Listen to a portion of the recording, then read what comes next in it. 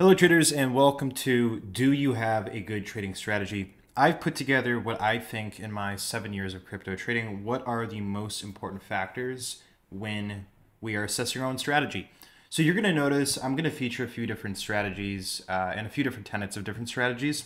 With each strategy, I'm not saying how much uh, I believe it's profitable. Rather, I'm just ranking um, each strategy on just objective tenets that I think will will help you out. So again, each of these rankings when I give you for for different indicators and strategies, it's not you know how good is the strategy. That's not really what it's supposed to do. It's just supposed to paint you a picture for what you're supposed to expect when you perform these strategies. As with what I've said many times before, if you are interested, you can join our premium Discord. Link in the description below. So many other good strategies that I'm not going to feature today can be found there. And I'd love to talk to you about them. All right, let's dive in. Here are the seven tenets that I thought were most important without me making some kind of value judgment and saying, oh, strategy one is, is better than strategy two. These are the seven, as you can see right here, that I just thought were really, really important. Now, the way that I've ranked these is kind of interesting. The top, like consistency and costs and fees, are the least important. Then the most important tenets of the strategy are at the bottom, like risk of ruin and risk management inefficiency, and market conditions. So the lower that you get, the more important that those factors are. Let's begin. Bitcoin dollar cost averaging, how does this rank up with the seven tenants that I've talked about? Again, not profitability, but just different parts of it when it comes to risk management and really what you can expect and how you can use this. Okay. It's kind of consistent. Um, you know, I did not give it a green. Green would be fantastic. Yellow means it's, okay, and, and red means that it's uh, horrific it's not really the most consistent strategy because you have to wait for Bitcoin volatility in order to do DCA, right? So not really the most consistent. Uh, cost fees are okay. A lot of times, some Bitcoin exchanges like Coinbase and other uh, just spot exchanges can have kind of bad fees. The cost can be kind of high to trade. This is what it's good at. This strategy is amazing if you are talking about hundreds of millions of dollars. I mean, you could you could trade this with really almost any amount of liquidity. You could trade on Coinbase with hundreds of millions of dollars if you DCA'd it right and just put orders at good levels, you'd be fine probably. Okay, so this one really any position size can do because you're long term investing in Bitcoin and long term uh, selling Bitcoin. Is it adaptable to different market conditions? This one was hard for me to rank, kind of. Um, it kind of is, but it kind of doesn't have to be because it's a long term view at value meaning, hey, I think that I want to buy in the 30s and sell in the 40s. And then you do that over a period of a year. You know, I don't really know if that's the most adaptable strategy, so it's kind of in the middle, I would say.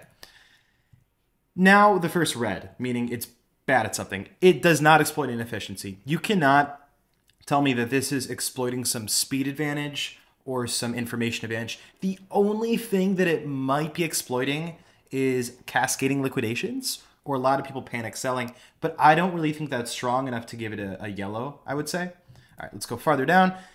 Easy risk management. Okay, what I meant by easy risk management, guys, is if you are in a position or if you've just used a strategy, how easy is it for you to manage your money? How easy is it for you to perform the strategy and to make sure you're, you're using risk well? DCA is okay. It's supposed to kind of de-risk in a way, but an issue is if you do dollar cost averaging with Bitcoin and then it goes to 19K. When you started at 50K, you're kind of screwed, right? So risk management's a bit weird with this strategy, a bit tough actually. Risk of losing it all, virtually none. Um, unless you know you have the view that Bitcoin's going to, going to go to zero, it gets a green. Here are the lists for really what is it good at, what's it okay at, what's it really good at. So if you're a fan of things that are just really no risk of losing every single penny in your account, also, maybe you have a bigger size, then maybe, yeah, this strategy could be for you. Again, we're not talking about profitability, but just the other factors that are not profitability. Okay, RSI trading. So we got to make some assumptions here, guys. So what I'm assuming is you are doing RSI trading on a one hour time frame using period 14. Period 14, RSI, one hour time frame, Bitcoin Coinbase. That is the most basic, beginner, just super, super new to crypto kind of strategy and the period of 14 is just staple. So, okay, that's what we're doing. Consistency is fantastic. I mean, RSI, you do have to wait for overbought or oversold signals of below 30, above 70 um, an indicator value, but you know, you could do this on Bitcoin on the one hour, or you could do this on 20 million other altcoins. The consistency is really good because there's just so many coins out there that you could do this on. And yeah. Um, okay, cost fees. I went ahead of myself. The costs and fees are actually pretty good because you can pick any exchange you want to do this RSI strategy. On Coinbase, the fees would be pretty bad, but I put it as green because really you could do this on a lot of different exchanges, which are going to lower your costs. So it's really not that expensive uh, to do. And also, you don't need to get some software or really buy much to do RSI unless you're trying to automate it. And even then, there are a lot of free ways that you can automate an RSI strategy. It's not the most difficult.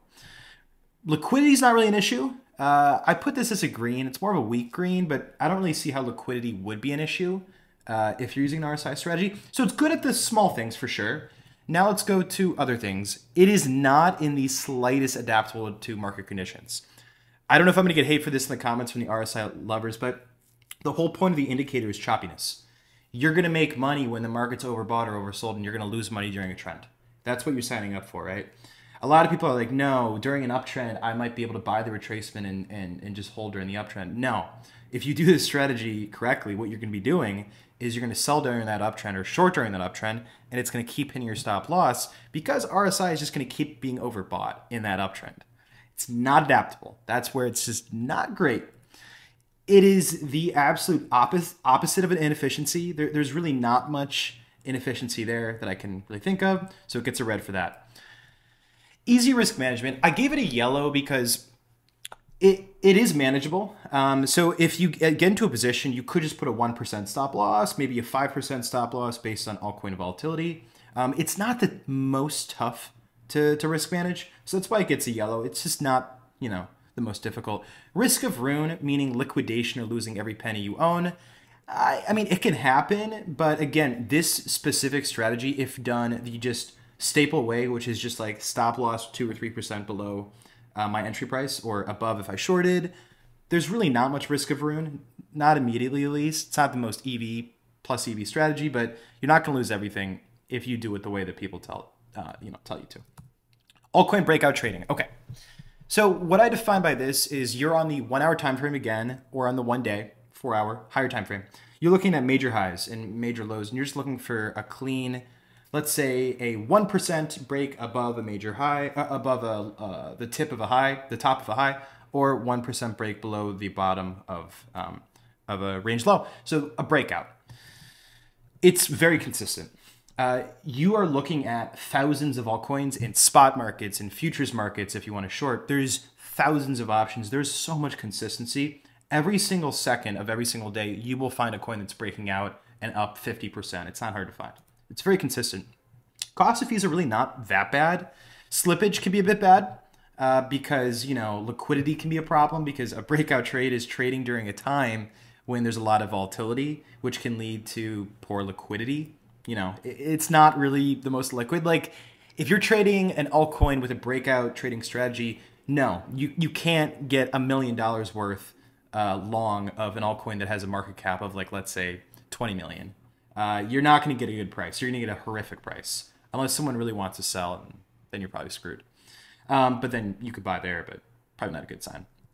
But yeah, cost fees are great because you have a lot of venues to pick from to make your your breakout trade. However, it's just not great when it comes to, you know, liquidity. Okay, this technically, yeah, it's it's moderately adaptable. A breakout trading strategy can fit really any kind of market term. A choppy ranging market, it kind of hurts this strategy. But at the same time, I put it at yellow because you have so many different markets to pick from that it's not really the biggest issue.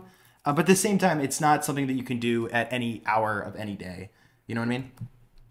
you're not explaining an efficiency, not not in the slightest. No, there's no speed advantage or information advantage. Maybe you could argue like, hey, there's a speed advantage in being able to buy uh, before everyone else does during a breakout. No, not not really. This is not arbitrage. This is just breakout trading. It's not you know that complicated. Easy risk management. I actually put this as green because I really do think, guys, that and gals and bots that are watching this, I really do think that risk management's easier for this than it is for RSI. Because for me, what I've done and will continue to do is I put a trigger order to enter into a breakout, correct? Then I push the TPSL. For those that don't know what that means, that's a take profit stop loss combo order. I'm just going to put the SL to let's say two or three percent. So that means that I will be I will be close out of my position if price goes just two or three percent against me. That's all that's going to happen. So let's say it's a long TPSL. That means if price goes up, it triggers my buy. I have a breakout trade that's long. Now, if price comes back down and retraces, it will hit my stop loss 3% below. Um, I also have a take profit higher. Risk management's really not that hard with this. Uh, if you set the proper TPSL, this is one of the better strategies, I would say, for risk management. I think it's better than RSI just because I've had issues in the past where, do you know when RSI is consistently under, underbought and you don't want to take a loss? Like when RSI goes into into um, oversold, right? And you buy, and then price goes down your your stop loss and is about to hit it, but you're like it's still oversold. That's why I gave RSI um, uh, yellow risk management, whereas altcoin breakout trading more of a green to me because you just have arbitrary rules for trading a breakout and it works well. So risk of ruin, eh, yellow. I mean, it can happen, but if you do the strategy I was talking about of just simple breakout trading with a two or three percent stop loss, your risk of losing every penny in your account not that high really. All right, now a fun one. I did this a few weeks ago on uh, Tellor on TRB.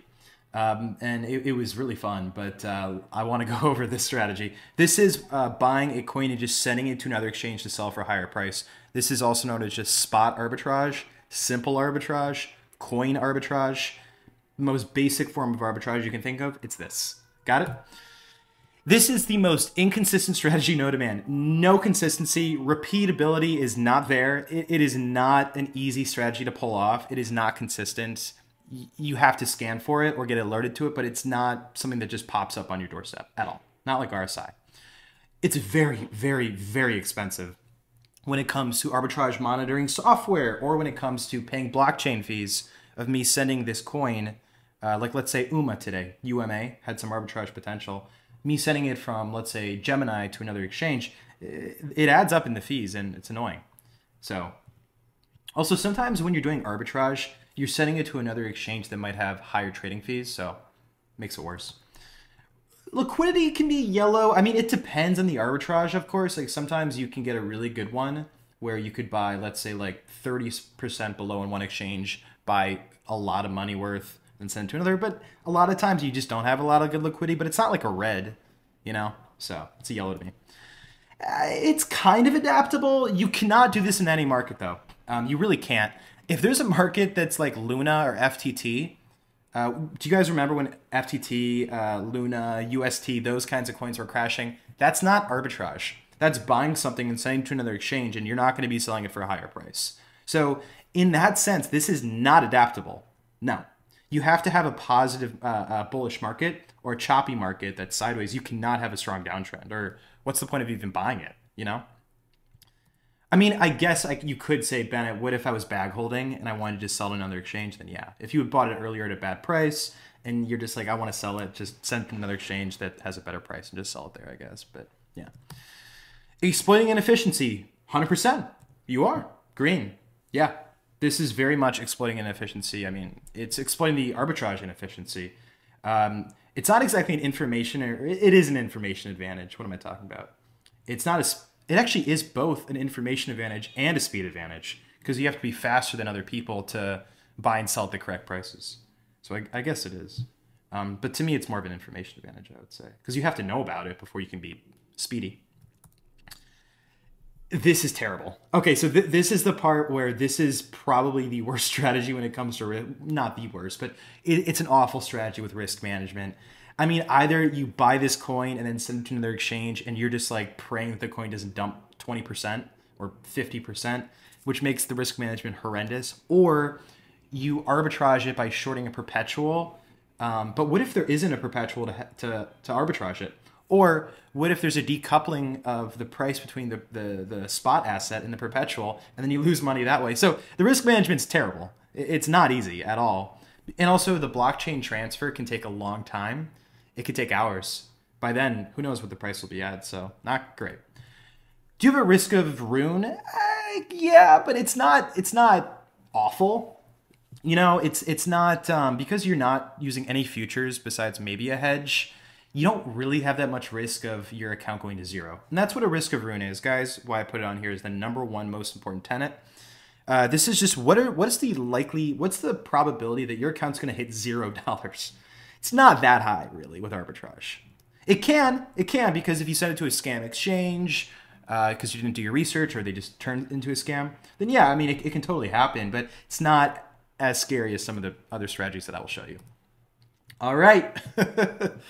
Let's go. You read the title Rollbit 1000x Scalping. For those that don't know, Rollbit's an online casino that offers crypto products where you can trade altcoins, yes, Bitcoin and altcoins with a thousand times leverage. So, yeah, please don't. But if you do, have fun with your money while it lasts because it'll be there for about like two to three minutes before it's gone. Is it consistent? Yeah, it's totally consistent. I mean, it's consistent at losing you money if you if you do a thousand x scalping. But is it consistent? Yeah, hundred percent.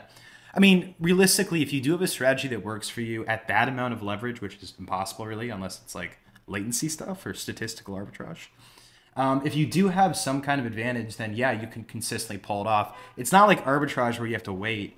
You know, this is something that you can do at any hour of any day, anytime. So it's very consistent. The fees are horrendous. Uh, if you ever look at Rollbit, the payout structure is weighted against you completely. The fees are way worse than I'd ever ever imagined. It's like they, they take a profit cut of your winning trades, and not only that, but the distance to liquidation is really really close.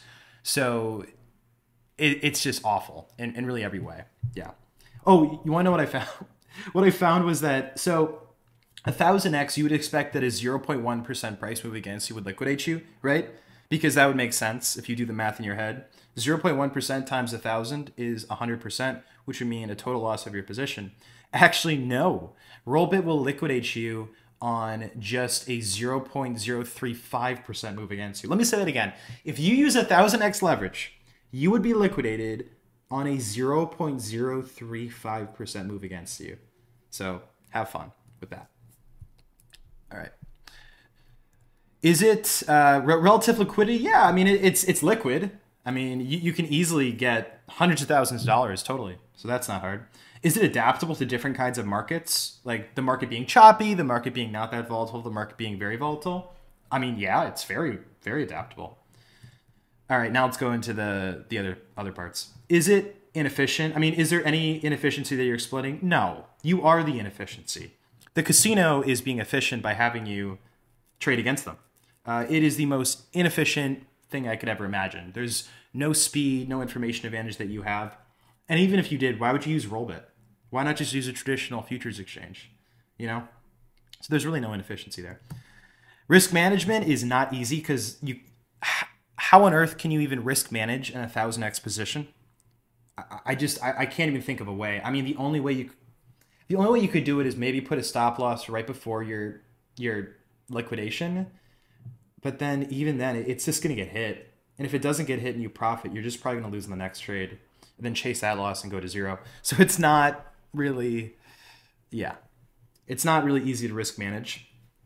I had to I had to look up online blood emoji, and I put five blood emojis right here because uh, it's it's worthy of it. Risk of ruin, five blood emojis. Your risk of ruin, I think, is in the other strategies, guys. Your risk of going to zero is not more than I'd say fifty percent. In Rollbit, I can confidently say if you hit that amount of leverage a thousand times, a thousand x, your risk of ruin is hundred percent over fifty percent, hundred percent.